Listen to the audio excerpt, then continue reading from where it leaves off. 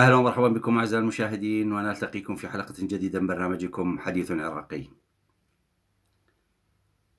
ربما لا يوجد طرف من من أطراف العملية السياسية سواء شخصيات أحزاب قوى ميليشيات كلهم.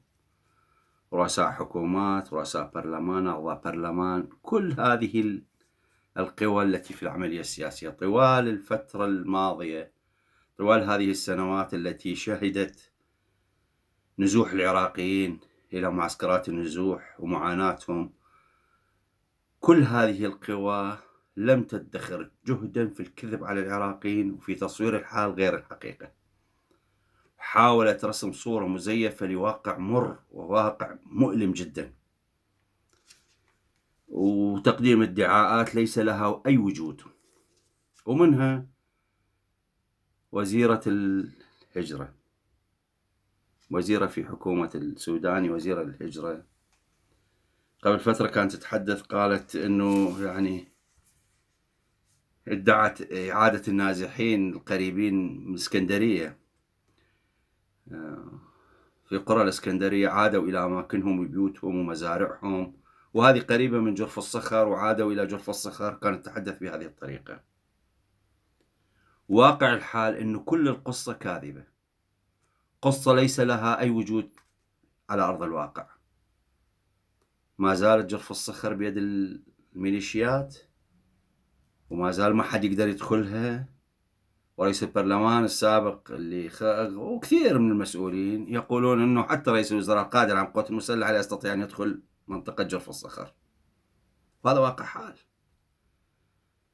وأهلها هجروا منها هجروا من بيوتهم ومزارعهم وأراضيهم والآن في يعني مهجرين في كل مكان. نازحين ولا أحد يسأل عنهم. فالمهم محاولة خلق صورة كاذبة وادعاءات كاذبة مثل ما في سنجار. دعوا أنه أهاليهم يجب أن يعودوا عادوا قضية كذب هذه. مئات العوائل. 183 ألف مواطن سنجار لا يستطيعون العودة إلى بيوت مخربة ومدمرة. يعني هو قاعد بخيمة في معسكرات النزوح. أنت تقول له راح أسد معسكر النزوح ارجع إلى بيتك. يرجع إلى بيته هو بيته غير موجود. لا خدمات موجودة البيت أساسا مو موجود. والخدمات عموما لا شوارع لا مياه لا كذا لا كل شيء كل شيء موجود. يعني المطلوب من عنده أن يأتي بالخيمة التي كانت في في معسكرات النزوح يرفعها وياه ويضعها على كوم الحصى والحجر اللي باقي من بيته يضعها هناك ليسكن هناك. هل هذا هو المطلوب؟ هل هذا هو الحل؟ والمصيبة الأكبر أن الأمم المتحدة تشارك في هذه المأساة. لأن الأمم المتحدة ممثل الأمم المتحدة الممثل الخاص والمنسق المقيم الأمم المتحدة منسق الشؤون الإنسانية في العراق. يقول إنه يعني يمتدح وزارة الهجرة يمتدح الإجراءات التي جرت و... ويكذب حتى تقارير الأمم المتحدة نفسها اللي يشتغل بها هو. المنظمة التي يعمل فيها كتبت تقارير أكدت الحال المزري لل... لل... للنازحين وأكدت وجود أكثر من مليون وثلاثمائة ألف نازح عراقي لحد الآن. وهذا يكذبهم بهذه الطريقة من أجل أن يجامل من أجل ما أعرف فلذلك الأمم المتحدة شريكة أيضا في هذا في هذا الخراب. وزارة الهجرة ووزيرة الهجرة دوما تعلن أنه عندنا موعد محدد راح نغلق كل المعسكرات النزوح. طيب وين تودون الناس؟ وين يروحون؟ وين يروحون الناس؟ أنت عندما تعيد الناس إلى مناطقها فيجب أن تسلمها مناطقها على الأقل سالمة على الأقل بها خدمات على الأقل بيوتهم على الأقل تعويضات. يستطيعون أن يبنوا بيوتهم أو يعمروا بيوتهم أو هي تعمروها أنتم تستطيعون الأموال كثيرة. لم تفعلوا شيئا. تعيدوهم فقط. يعني ليبدأوا رحلة نزوح من معسكرات النزوح إلى إلى إلى التي إلى النزوح في كل مكان. لكي يتعرضوا لأخطار أكثر ومصائب أكثر. هذا واقع الحال. ميليشيات آه، تدخل وتسرق و... وتوقف سيطرات وتبتز العالم وتاخذ من عندهم ويعرفون. وتبتز الجميع من أجل تظل مسيطرة على أراضي ومناطق معينة لنازحين. في فترة من الفترات وصل عدد النازحين في العراق إلى أكثر من ستة ملايين نازح. والذين رجع رجعوا إلى بيوتهم تحملوا كل الضيم. لحد الآن في كثير من المناطق في الفلوجة في الرمادي في صلاح الدين في كثير حتى في الموصل بالموصل. رجعوا إلى الخراب خلاص. وعندما رجع ورا فترة اضطر إلى يرجع إلى النزوح مرة أخرى. الآن كثير من عندهم في الشوارع. هذه من يتحمل مسؤولية؟ هي هذه هي هذه الحلول التي التي بيد الحكومة وبيد وزارة الهجرة. والأمم المتحدة تمدح وزارة الهجرة بسببها؟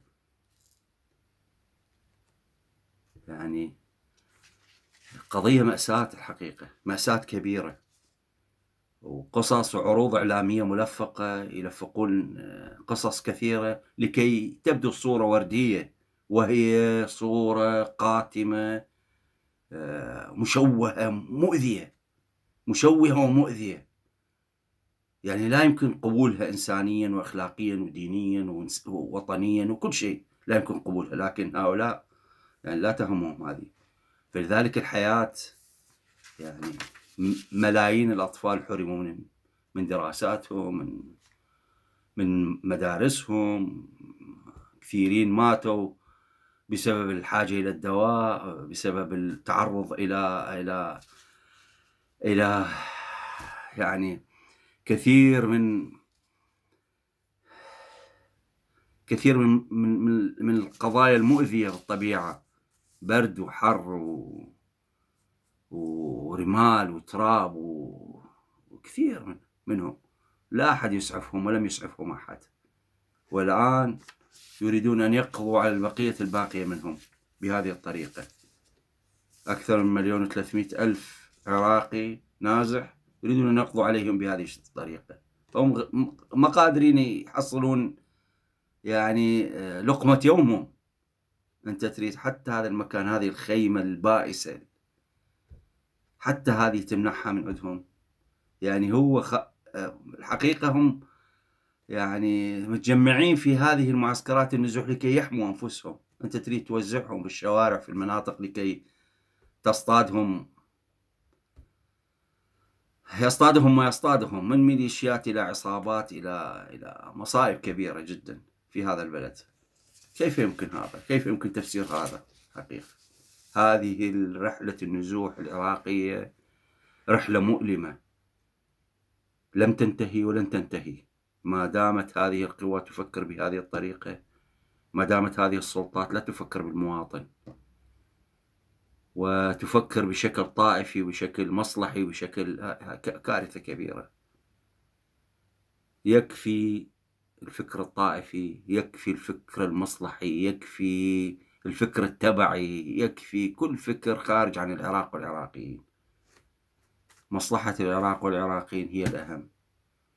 لذلك العراق لن يشهد استقرارا ولن يشهد حياة إلا بزوال هذه العملية السياسية وكل قواها. حقيقة لأنه هي المسؤولة عن كل هذا الخراب الذي حل بالعراق 21 سنة ليست قليلة. كانوا يقولون بالأول خمس سنوات ست سنوات بعدنا والتجربة الآن بعد 21 سنة من المعيب أن يتحدث أحدهم عن نظام سابق وعن فترة قصيرة وعن تجربة وعن عن ما زلنا لا نعرف ما أبدا. هناك فساد هناك خراب هناك محاولات لقهر العراقيين. وهذه المحاولات جزء من عندها هذه الصورة صورة النازحين. هذه إحدى المحاولات لقهر العراقيين وكسر إرادتهم على الحياة مع الأسف الشديد.